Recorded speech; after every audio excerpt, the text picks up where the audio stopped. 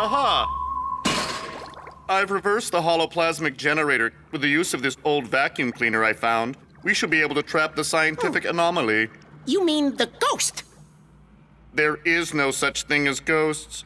We just need a way to lure this unexplained phenomena back here. You mean the ghost, No, I mean the unidentified intruder. which happens to be a ghost. Fine, it's a ghost. Are you happy? No, not really. Okay, everybody stay close. That's too close.